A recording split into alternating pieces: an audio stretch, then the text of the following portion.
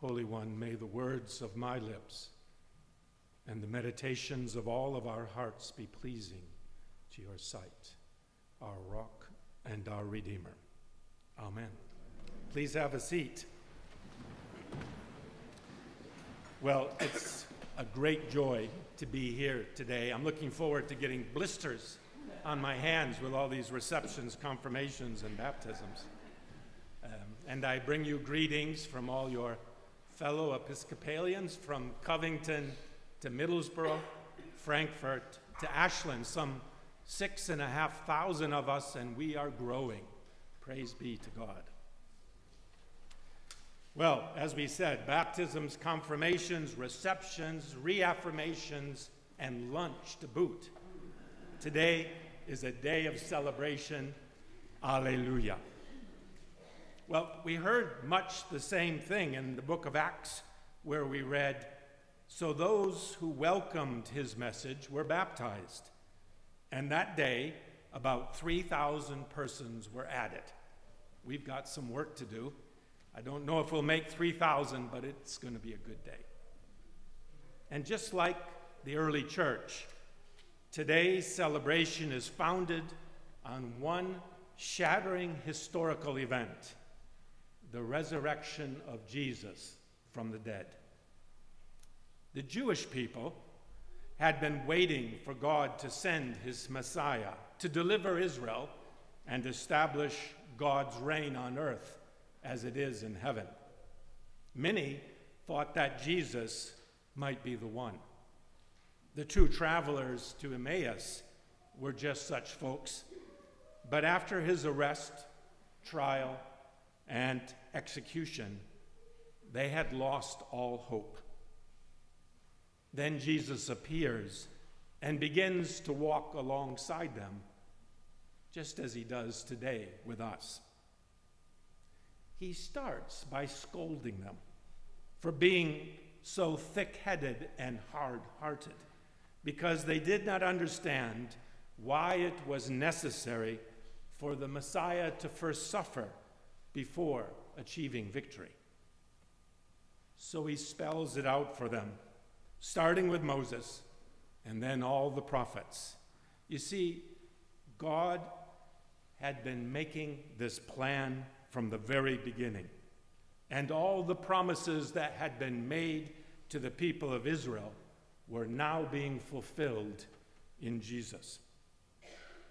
When they arrived at their destination, the two asked Jesus to come in and eat supper with them. At table, Jesus took bread, blessed it, and broke it, and gave it to them. And suddenly, their eyes were opened. They saw and they believed. After Jesus left, they went back to Jerusalem to tell the apostles how he had been made known to them by the opening up of the scriptures and the sharing of the bread. Word and sacrament, the core of our Anglican liturgy, still makes Jesus known to us today. But there are different levels of knowing.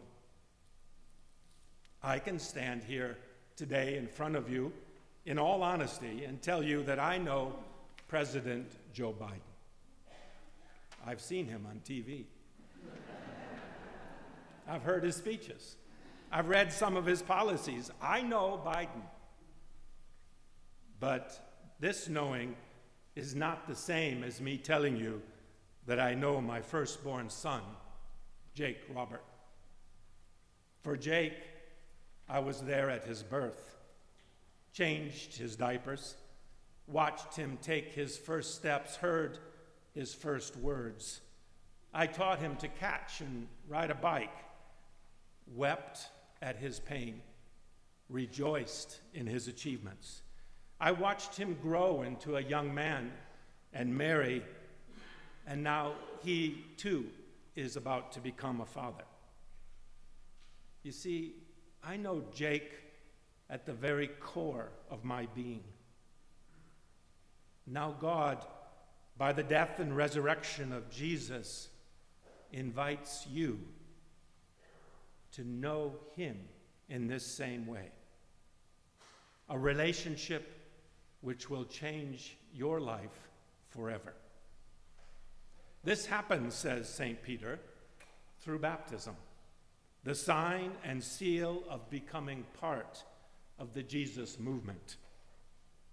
Baptism begins with our repentance as we turn from a focus on self to declare that Jesus is Lord, Lord of your life and Lord of all the world. And we accept him as our Savior, the one who redeems you from sin and death. In baptism, you are forgiven, receive the Holy Spirit, and are adopted to live as one of God's children, the church. All three strands repentance, forgiveness, and adoption are woven from the gospel truth into the way of love. Archbishop Rowan Williams once said, Truth makes love possible. Love makes truth bearable. When we say yes to God's truth, we are empowered by the Holy Spirit to live in mutual love.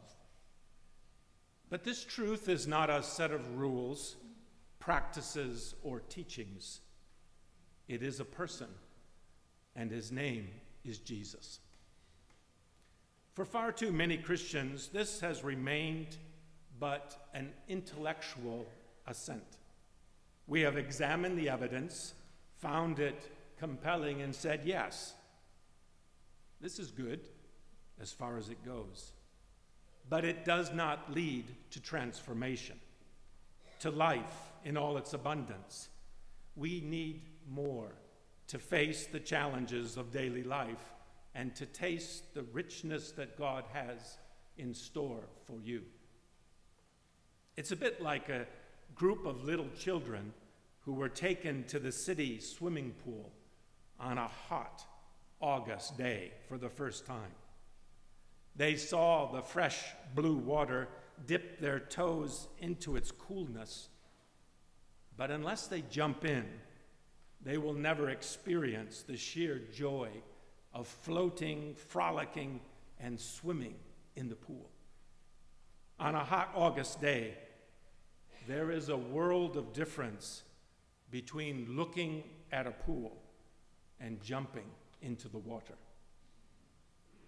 Saying yes to God brings you to the edge of the pool, but it is only when you jump in that you experience the Spirit.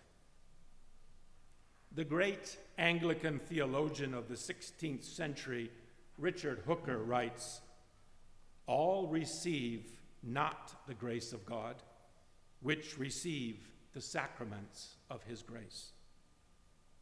Just because we come to the pool does not mean we will experience the joy of swimming. We must get in the water. Baptism must lead to discipleship, and that is why we have the ancient church practice of confirmation. Some say confirmation was invented because bishops didn't have anything to do. That may be true. But confirmation is also a wonderful opportunity to profess the faith that was promised at your baptism and is now maturing in your life. In confirmation, the candidate confirms all that was received. And with the laying on of hands and the anointing with holy oil, God confirms that He will be with you and strengthen you on your journey of faith. So, there really are two confirmations. The candidate confirms their Christian faith, and God confirms His presence, protection, and promise strength for the road ahead.